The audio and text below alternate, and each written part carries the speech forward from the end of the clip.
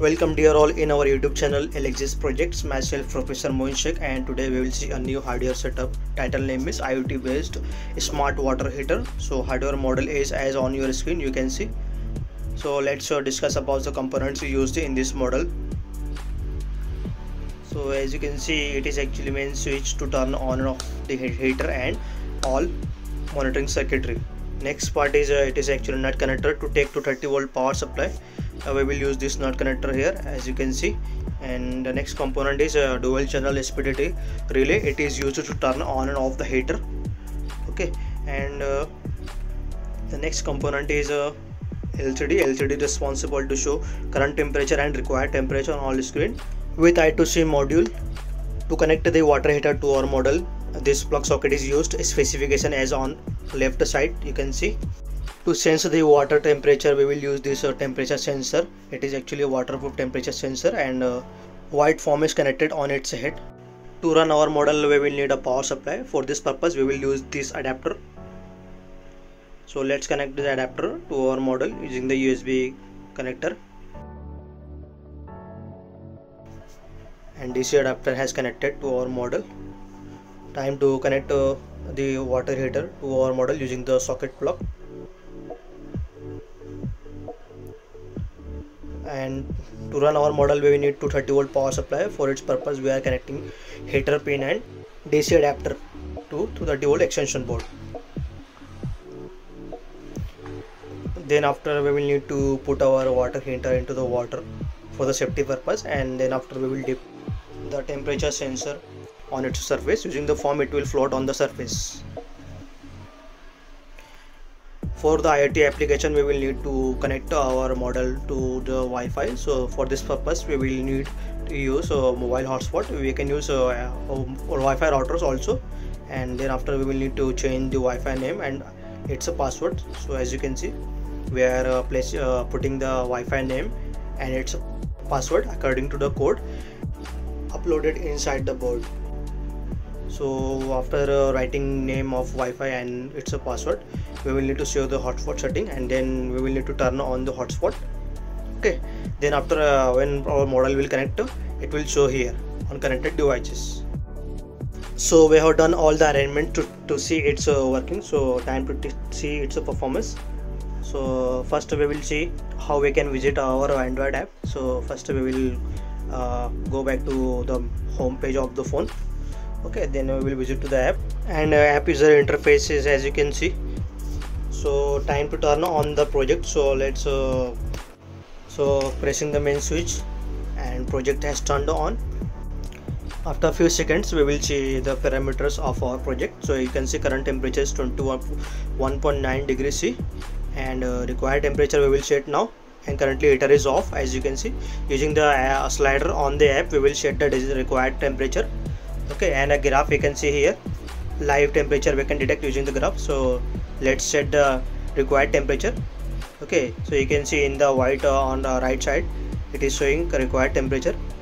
So let's set it to uh, 36 degrees C. So you, you, can see 36 degrees C has updated on the LCD screen and uh, heater has turned on.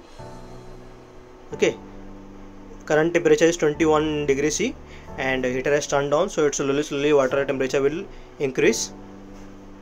So you can see heater has turned on. So after uh, two minutes you can see uh, you can see uh, water vapors are arriving on the heat waves. You can see in the inside the water as you know. You see with the concentration you will see and uh, you can see our temperature has uh, increased from 21 to 23 degrees C. Heater temperature is slowly slowly increasing. When it, it will reach to 36 degrees C heater will automatically turned off. So water temperature is uh, rising slowly slowly. Water quantity was uh, taken is less so that we can heat the water quickly for the fast demonstration of the model. So current temperature is 27.6 and it is increasing slowly slowly you can see. Uh, current temperature is showing on the app and LCD live exactly same. So 28 and required is 36 see with concentration you will see heat waves inside the water and bubbles are appearing around the heater it means our heater is on and our project is working fine. So let's see what is the current temperature. Current temperature is 31 point so it is increased to 32 only 4 degrees left to turn off the heater. Okay reached to 33.2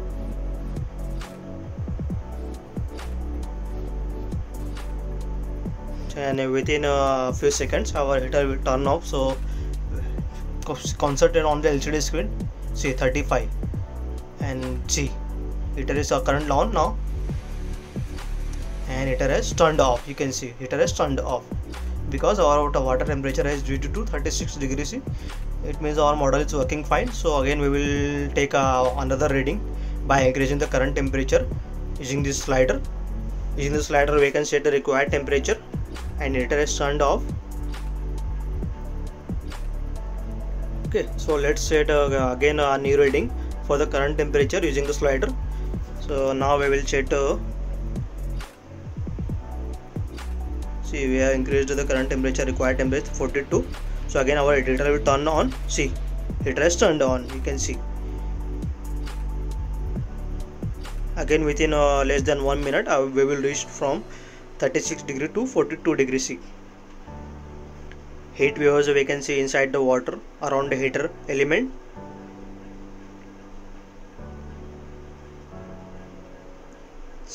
water has uh, temperature has reached 39 degree C. Okay we can see the temperature graph on the app. Slightly curved we can see because temperature is rising. Current temperature is 40 degree C. After 2 degree C heater will automatically turned off.